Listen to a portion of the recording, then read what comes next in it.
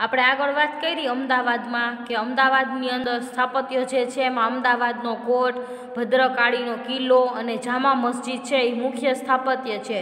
કિલ્લો જે વૈશ વૈશ્વિક વારસાના સ્થળોમાં સામેલ છે ચાંપાનેરમાં, જામા મસ્જિદમાં અને ચાંપાનેરનો કિલ્લો તથા અડાલજની રાણી રૂડાદેવની વાવ પ્રસિદ્ધ સ્થાપત્ય છે.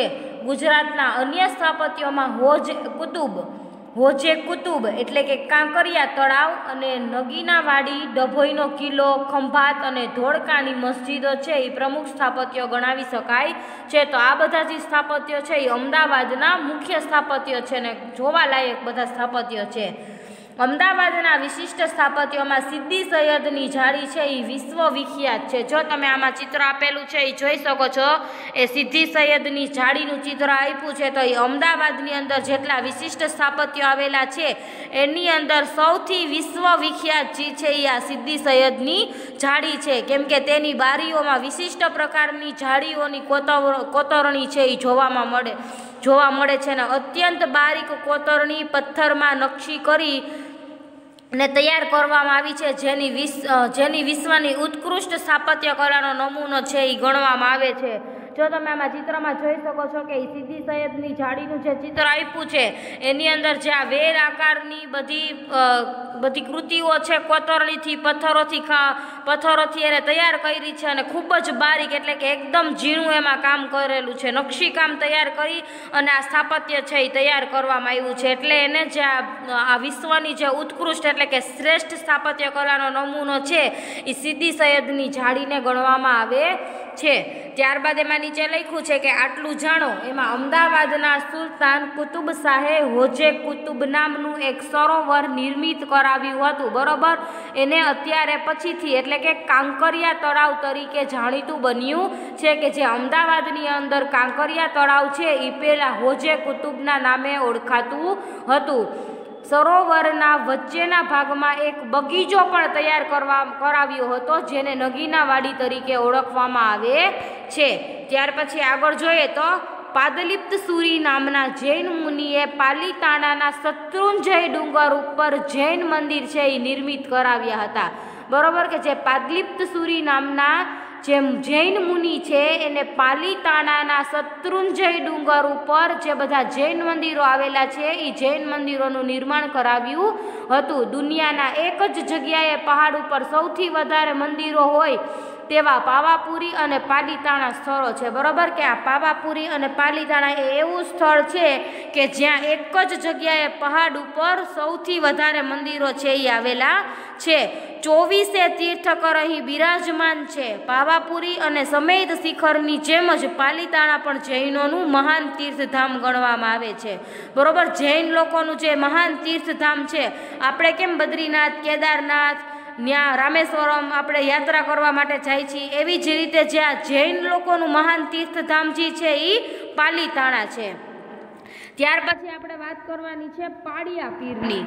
તો એના વિશે આપણે જોઈએ તો ગુજરાતના સ્થાપત્યોમાં પાળિયાનું એક વિશિષ્ટ સ્થાન છે. તે ગુજરાતનું અજોડ સ્થાપત્ય છે. બરોબર? જે આ પાડિયા સ્થાપત્ય છે એ ગુજરાતનું સૌથી અજોડ એટલે કે અનોખું અને ખૂબ જ સરસ સ્થાપત્ય છે.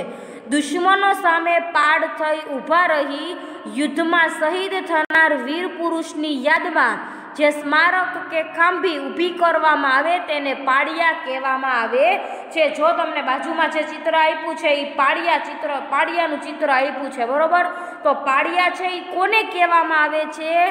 કે દુશ્મનો સામે પાડ થઈ, એટલે કે દુશ્મનોની સામે ઊભા રહી અને યુદ્ધમાં શહીદ થાય.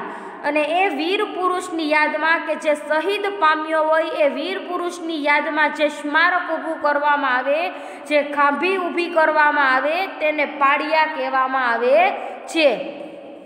જે નિડર સ્ત્રીઓએ જાહેર કર્યું હોય કે તે સતી થઈ હોય, તો તેમના પણ પાળિયા બનાવવામાં આવે છે, બરોબર?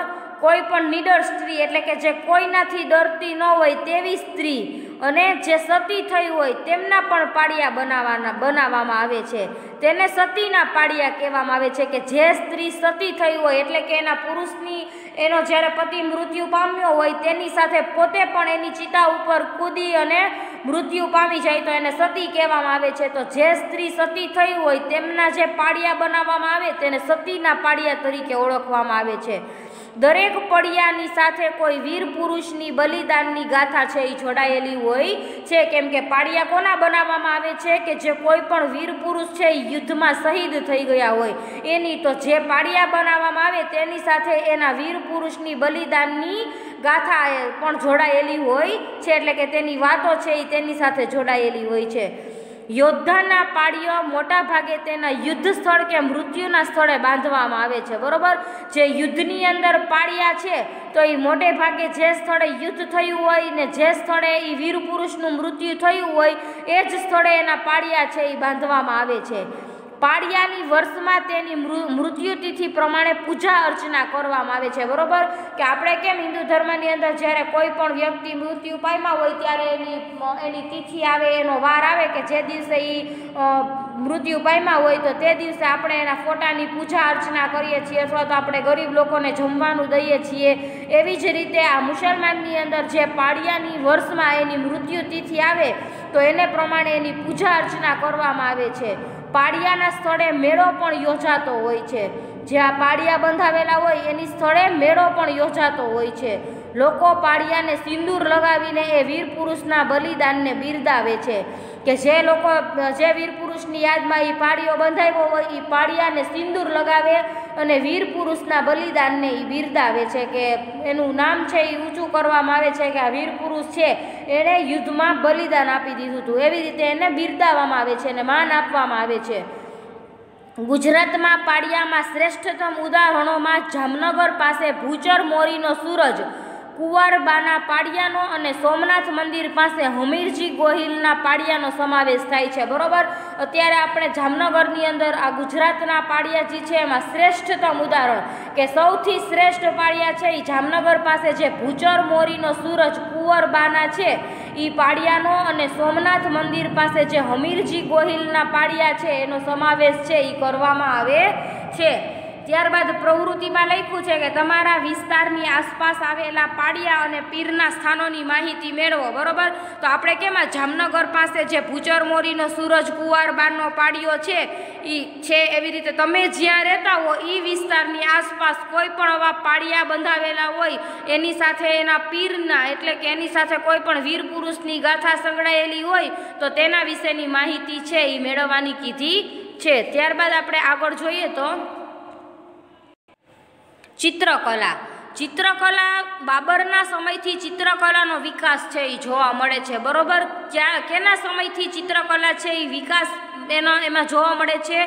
તો જ્યારે બાબરનો સમયગાળો શરૂ થયો, ત્યારથી એ સમયમાં ચિત્રકલાનો વિકાસ જોવા મળે છે.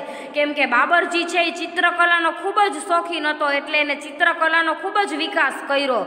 તો શું વિકાસ કર્યો તેના વિશે આપણે આગળ જોઈએ. તો એને ચિત્રકલા ઉપર ગુલસુન ચિત્રાવલી અને હંસનામા વિશિષ્ટ ગ્રંથો હતા એ એને વિશિષ્ટ ગ્રંથો છે એ લખાવ્યા છે કે એને ચિત્ર ખૂબ જ ગમતા હતા. એટલે એને એ ચિત્રકલાનો વિકાસ કરવા માટે એને ચિત્રકલા ઉપર ગ્રંથો પણ લખ્યા. આકારિઝા નામના મહાન ચિત્રકાર ચિત્રકારના નેતૃત્વમાં આગ્રાના, આગ્રામાં એક ચિત્રકલાની સ્થાપના કરી. ચિત્રકલાની સ્થાપના એટલે કે ત્યાં કોઈ પણ લોકો છે એ ચિત્રકલા શીખવા માટે આવી શકે, કોઈ પણ ચિત્ર વિશે એને જ્ઞાન મેળવવું હોય, તો એ ચિત્રશાળાની અંદર એ આવી શકે. તો જે આ આકારિઝા નામના મહાન ચિત્રકાર છે, તો એ મહાન ચિત્રકારને બોલાવી અને તેના નેતૃત્વમાં એટલે કે તેની હેઠળ આગ્રાની અંદર એક ચિત્રકલા, ચિત્રશાળાની એને સ્થાપના કરી કે ત્યાં ઘણા લોકો છે એ ચિત્ર શીખવા આવી શકે અને ચિત્રનો ખૂબ જ વિકાસ થાય. આ સમયમાં ચિત્રકારોએ પશુ પક્ષીના ચિત્રો અને પુષ્પોના ચિત્રો છે એ વિશિષ્ટ રીતે આલેખ્યા છે. આલેખ્યા છે એટલે કે દોર્યા છે. એ સમયની અંદર જે ચિત્રકારો છે કે જે ચિત્ર દોરતા હોય, એને પશુ પક્ષીના ચિત્રો, પુષ્પના ચિત્રો છે એ ખૂબ જ સરસ રીતે એને દોર્યા છે. અકબરના સમયથી છબી ચિત્રોની શરૂઆત થઈ. કે જ્યારે અકબરનો સમય શરૂ થયો, ત્યારે છબી ચિત્રોની શરૂઆત થઈ કે જે પોસ્ટર ઉપર આપણે ચિત્રો જોઈએ છીએ. કોઈ પણ મહાપુરુષ હોય, એના ચિત્રો આપણે પોસ્ટર ઉપર જોઈએ છીએ. તો એ બધા જે છબી ચિત્રોની શરૂઆત છે એ અકબરના સમયથી શરૂઆત થઈ. તો જહાંગીરના સમયમાં વિશિષ્ટ તહેવારો અને પ્રસંગોના ચિત્રો પણ બનાવવામાં આવ્યા છે. કે જ્યારે જહાંગીરનો સમયગાળો આવ્યો, તો વિશિષ્ટ તહેવારો, જેમ કે હોળીનો તહેવાર હોય, તો રંગથી રમતા ચિત્રો ચિત્રોનું દ્રશ્ય છે એ બનાવવામાં આવે છે. દિવાળીનો તહેવાર હોય તો દિવાળીની અંદર રંગોળી દર, રંગોળી દોરતા હોય તેવા ચિત્રો, ફટાકડા ફોડતા હોય નાના બાળકો તેવા ચિત્રો છે એ દોરવામાં આવે છે. અને કોઈ પણ પ્રસંગ હોય સારો એવો તો એના પણ ચિત્રો છે એ બનાવવામાં આવે છે. તો એની શરૂઆત છે એ જહાંગીરના સમયમાં થઈ. તો આમ બાબરના સમયમાં, અકબરના સમયમાં, જહાંગીરના સમયમાં ખૂબ જ ચિત્રકલાનો વિકાસ છે એ સારી રીતે જોવા મળે છે. મુઘલ ચિત્રકલાની જેમ જ રાજસ્થાનમાં મેવાડ, જયપુર, મારવાડ અને કોટાની શૈલી સુવિખ્યાત હતી કે મુઘલ ચિત્રકલાની જેમ જ મુઘલ સમયની અંદર જે ચિત્રકલાનો વિકાસ થયો તેમજ રાજસ્થાન, મેવાડ, જયપુર, મારવાડ વગેરેમાં ચિત્રકલાનો વિકાસ છે એ આગળ આગળ ખૂબ જ થતો ગયો. ગુજરાતી શૈલી, તળપદી, સાદી અને કથા પ્રસંગે વિશદતાથી રજૂ કરતી અને લોકજીવનનો ધબકાર જીવતી સજીવ કલા હતી. ગુજરાતી શૈલી એટલે કે આપણી ગુજરાતની શૈલી તળપદી, સાદી અને કથા પ્રસંગને વિશદતાથી રજૂ કરતી અને લોકજીવનનો ધબકાર જીતતી. સજીવન ચિત્રકલા એટલે કે જે જીવંત દ્રશ્ય રજૂ કરતી હોય તેવી ચિત્રકલા હતી. બરોબર? આ આપણે ચિત્રકલા વિશે જોયું. ત્યારબાદ આપણે આગળ સંગીત વિશે જોઈ. તો સલ્તનત કાળમાં ભારતીય સંગીતની સાથે સાથે ઇસ્લામિક સૂફી સંગીતનો પ્રારંભ થયો, બરોબર? કે જ્યારે સલ્તનત કાળનો સમયગાળો ચાલતો હતો, ત્યારે ભારતીય સંગીતની સાથે સાથે આપણું જે ભારતીય સંગીત છે, એનો તો વિકાસ થયો, પણ સાથે સાથે ઇસ્લામિક સૂફી સંગીત. એટલે કે જે મુસલમાનોનું સંત હોય, સૂફી એટલે કે સંત, મુસલમાનોના જે સંત હોય, એના સંગીતનો પણ પ્રારંભ થયો. એનો સંગીત પણ ત્યારથી આગળ વધ્યું. આ ક્ષેત્રે અમીર ખુશરોએ કવાલીની શોધ કરી હતી, બરોબર? કે જે અમીર ખુશરો નામનો જે મુસ્લિમ હતો, એને કવાલીની શોધ કરી હતી અને કવાલી એ પણ સંગીતની લોકપ્રિય વિદ્યા છે. એનો ઇતિહાસ છે એ સાતસો વર્ષ જૂનો છે, પણ અત્યારે કવાલીની શોધ જ્યારે થઈ, ત્યારે કવાલી છે એ ઓછી ગાવામાં આવતી હતી, પરંતુ અત્યારે કવા, કવાલીનો વિકાસ છે એ ખૂબ જ આગળ છે એ વધ્યો છે. આપણે ટીવીમાં જોતા હોય તો એમાં પણ કવાલીના પ્રોગ્રામો છે, એ આવતા હોય છે. તો એમ કવાલીની જ્યારે શોધ થઈ ત્યારે ઓછી કવાલી ગવાતી હતી, પરંતુ અત્યારે કવાલીનો વિકાસ છે, એ ખૂબ જ સારી રીતે આગળ વધ્યો છે. અને ધ્રુપદને બદલે ખયાલ પદ્ધતિ છે, એ દાખલ કરી હતી. દેવગીરીના સારંગ દેવે સંગીત રત્નાકર અને ગુજરાતમાં હરિપાલ દેવે સંગીત સુધાકર નામનો ગ્રંથ લખ્યો હતો. કે ત્યાર પછી સંગીત છે, એ એટલું આગળ વધ્યું કે જે દેવગીરીના સારંગદેવ હતા, એને સંગીત રત્નાકર એ નામનો ગ્રંથ લખ્યો, એને આખો સંગીતને લખતો. અને ગુજરાતની અંદર જે હરિપાલ દેવે છે, એને સંગીત સુધારકર એ નામનો એને સંગીતનો આખો ગ્રંથ લખ્યો હતો. અકબરના સમયમાં તાનસેન શાસ્ત્રીય ગાન સાથે સંકળાયેલ સૌથી મહાકા, મહાન કલાકાર હતા, બરોબર? તાનસેન છે, એનું નામ તો તમે સાંભળ્યું જ હશે. તો એ અકબરના સમયની અંદર જ્યાં તાનસેન છે એ શાસ્ત્રીય ગાન ગાન સાથે સંકળાયેલા સૌથી મહાન કલાકાર હતા. એવું કહેવામાં આવે છે કે તાનસેન છે એ સંગીતથી ચમત્કાર કરતા હતા. જેમ કે એ દીપક રાગમાં કોઈ પણ સંગીત ગાય તો ચારેય તરફ આગ લાગી જાય. મલ્હાર રાગ ગાય તો વરસાદ આવવા લાગે. આમ તાનસેન છે એ એક ચમત્કારી સંગીતકાર અને ગાયક છે એ માનવામાં આવે છે. બરોબર આપણે વાત કરી સંગીતની. હવે આપણે આગળ વાત કરીએ તો સાહિત્ય. બરોબર, સાહિત્યની અંદર આપણે અત્યારે જે બધા સાહિત્ય છે, રામાયણ, મહાભારત, એવા બધા સાહિત્ય આપણે મધ્ય યુગમાં ઘણા બધા સાહિત્યકારોએ જુદા જુદા વિષયોમાં ખેડાણ કરીને નોંધપાત્ર ગ્રંથોનું સર્જન કર્યું છે. બરોબર, મધ્ય યુગમાં, જ્યારે મધ્ય યુગનો સમય ચાલતો હતો, ત્યારે ઘણા બધા સાહિત્યકારોએ કે જે સાહિત્ય લખતા હોય, પોતે ગ્રંથ લખતા હોય, તેને જુદા જુદા વિષયોનું ખેડાણ કરી જુદા જુદા વિષયોમાંથી એને માહિતી મેળવી અને નોંધપાત્ર ગ્રંથોનું સર્જન કર્યું છે. તો એના કેટલાક ગ્રંથોની માહિતી છે એ નીચે મુજબ છે. તો એમાં આપણે ગ્રંથો જોઈ અને તેના રચયિતા જોઈએ.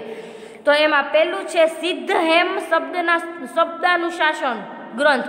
તો એ કોણ? એના રચયિતાજી છે એ હેમચંદ્રાચાર્ય છે, કે એણે જે આ સિદ્ધ હેમ શબ્દના શબ્દાનુશાસનનો ગ્રંથ છે એ હેમચંદ્રાચાર્યએ લખ્યો છે. ત્યાર પછી ગીત ગોવિંદમ એ ગ્રંથ જે છે એ જયદેવે લખ્યો છે. એના રચયિતા છે એ જયદેવ છે. હિતોપદેશ છે, તો એના રચયિતા નારાયણ છે. સિદ્ધાંત શિરોમણી અને લીલાવતી, તો એના રચયા, રચયિતાજી છે એ ભાસ્કરાચાર્ય છે. પૃથ્વીરાજ રાસો હતો. એના રચયિતા ચંદબરાઈ છે. ચંદબરદાઈ છે. પછી તુઘ તુઘલખનામાં અને તારીખે દિલ્હી એ જે ગ્રંથ છે. એના રચયિતા અમીર ખુશરો છે. કિતાબુલ હિન્દ રહેલા. એના રચયિતા ઇબ્ન બતુતા છે. પછી ગ્રંથ, કાંડ, કાંડદે પ્રબંધ ગ્રંથ. એના રચયિતા પદ્મનાભ છે. પછી પગ્નાવત. એના રચયિતા મોહમ્મદ જાય છે. મોહમ્મદ જાયસી છે. તો આ બધા જે ગ્રંથો છે, એના રચયિતા વિશે આપણી માહિતી મેળવી. ત્યારબાદ લખ્યું છે, આટલું જાણો. એમાં જે ભાષ્ય ગ્રંથ છે એ રામાનુજાચાર્ય રામાનુજાચાર્યએ લખ્યો છે. કાવ્ય પ્રકાશ છે, તો એ મમ્મટ એના રચયિતા છે. મનસોલ્લાસ, તો એના રચયિતા સોમેશ્વર છે. હિતાબુલ હિન્દ, તો એના રચયિતા અલબરૂની છે. તો આ બધા ગ્રંથના, ગ્રંથોનું એને નોંધપાત્ર ગ્રંથોનું સર્જન કર્યું છે. તો એમાં આપણે ઘણા બધા ગ્રંથો જોયા. ત્યારબાદ પછી આપણે વાત કરીએ તો લોકનૃત્ય અને હસ્તકલા.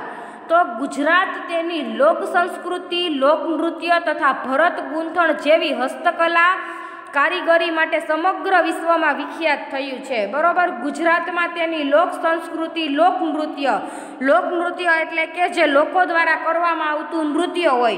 તો દરેક લોકો દેશમાં જે લોકો હોય તો એનું અલગ પ્રકારનું નૃત્ય હોય છે. બરોબર? આપણે ગુજરાતની અંદર રાસ ગરબા નૃત્ય હોય છે, પછી કથક નૃત્ય હોય છે, કુચીપુડી નૃત્ય હોય છે, પછી આપણે પંજાબમાં જોઈએ તો ભાંગડા નૃત્ય હોય છે, એવી રીતે લોક સંસ્કૃતિ અલગ અલગ લોકના અલગ અલગ નૃત્ય હોય છે. પછી હસ્તકલા તો એનું મુખ્ય ઉદાહરણ છે ભરત ગૂંથણ, બરોબર? કે હસ્તકલા એટલે કે હાથેથી કામગીરી કરવામાં આવે અને હસ્તકલા કહેવામાં આવે છે. કે અત્યારે આપણે કપડાં પહેરીએ છીએ, સાડી પહેરીએ, ડ્રેસ પહેરીએ તો એના ઉપર જે બારીકાઈથી જે વર્ક કરવામાં આવ્યું હોય તો એ હસ્તકલા આધારિત વર્ક છે એ કરવામાં આવ્યું હોય. તો એના માટે સમગ્ર વિશ્વમાં વિખ્યાત થયું છે. જેમાં ભવાઈ, નાટક જેવા પ્રકારોનો પણ સમાવેશ થાય છે. ભવાઈ વિશે આપણે વાત કરીએ તો ભવાઈની શરૂઆત છે. એ સિદ્ધપુરના ઔદિત્ય સહસ્ત્ર બ્રાહ્મણ કુળમાં જન્મેલા કવિ કથાકાર અસાઈ ઠાકરે કરી હતી. બરોબર? ભવાઈની શરૂઆત છે એ કોણે કરી હતી? કવિ કથાકાર અસાઈ ઠાકરે કરી હતી. અસાહિતે એક નવા નાટ્ય પ્રકાર ભવાઈનું સર્જન કર્યું હતું. ભવાઈમાં છે એ બધા જ પાત્રો પુરુષો દ્વારા જ ભજવવામાં આવે છે. એમાં કોઈ પણ સ્ત્રીનું પાત્ર હોય, તો એ પણ પુરુષો દ્વારા જ ભજવવામાં આવતું હોય છે. અને ભવાઈ છે, મોટે ભાગે ખુલ્લા મેદાનમાં અથવા નાના ચોક જેવી જાહેર જગ્યાએ ભજવવામાં આવે છે.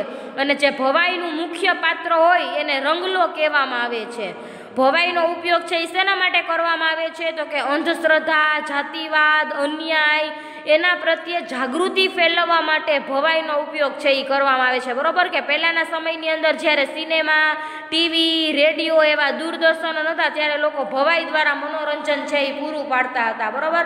અત્યારે પણ હજી ઘણા ગામડાઓમાં જોવા મળે છે કે ત્યાં ભવાઈ મંડળ છે એ રજૂ કરવામાં આવે છે.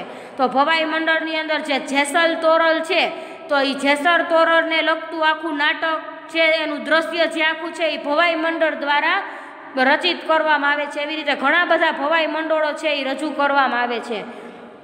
ત્યારબાદ આપણે નાટક વિશે જોઈ, તો અત્યારે પણ ઘણા બધા નાટકો છે એ જોવા મળે છે. બરાબર? અત્યારે તો આપણે ગુજરાતીની અંદર નાટકો જોઈએ. લેટેસ્ટ તો ગજુભાઈ નાટક, ગોરકેડીનું નાટક એવા બધા હાસ્યની ઝીંગા મસ્તી એ બધા અત્યારના ગુજરાતી નાટકો છે. તો એવા પહેલાંના સમયની અંદર પણ ઘણા બધા નાટકો છે એ થતા હતા. તો એ બધા પ્રકારોનો સમાવેશ થઈ આપણા ગુજરાતમાં થાય છે. ભવાઈ લેખન અને ભજવવાનું શ્રેય અસાઈન ઠાકરને ફાળે જાય છે, બરોબર? જ્યાં ભવાઈના મેઇન એને શરૂઆત કરી હતી અસાઈ ઠાકરે, તો એ આ જે ભવાઈનું લેખન અને એનો ભજવવાનો જે શ્રેય છે એ આખો એનો આધાર છે એ આખો અસાઈન ઠાકર, અસાઈત ઠાકરને ફાળે જાય છે. ઝાલાવાડ વિસ્તારમાં પશુપાલકો એક વિશિષ્ટ પ્રકારના રાસ રમે છે, જેને હુડો કહેવામાં આવે છે. બરાબર? કે કેમ જે લોકો, જે લોકોની સંસ્કૃતિ હોય, જે લોકો જ્યાંના હોય, ત્યાં પ્રકારના જે રાસ ગરબા રમતા હોય, તો તેને ત્યાંની સંસ્કૃતિ કહેવામાં આવે છે. ત્યાંનું અલગ નામ દેવામાં આવે છે. જેમ કે લોકો પંજાબમાં રાસ ગરબા રમતા હોય, તો એને ભાંગડા કહેવામાં આવે છે. બરાબર? આપણે ગુજરાતમાં આપણે ગરબા રમીએ, તો એને રાસ ગરબી કહેવામાં આવે છે. એવી જ રીતે એક આ ઝાલાવાડ વિસ્તારમાં પશુપાલકો એટલે જે પશુ પાળતા હોય એ પશુપાલકો એક વિશિષ્ટ જ પ્રકારનો રાસ રમે છે, જેને હુડો કહેવામાં આવે છે. એ જે રાસ રમે છે એને હુડો નામ આપવામાં આવ્યું છે. તરણેતરના મેળામાં હુડો રાસને જોવા દેશ વિદેશના લોકો ગુજરાતમાં આવે છે, બરોબર? કે જ્યાં તરણેતરનો મેળો છે એ ભરાય છે, તો એ તરણેતરના મેળામાં જ્યાં હુડો પ્રકારનો રાસ રમવા માટે જે લોકો આવે છે ઝાલાવાડ વિસ્તારના લોકો, તો એ હુડો રાસને જોવા માટે દેશ વિદેશના લોકો છે એ ગુજરાતમાં આવે છે.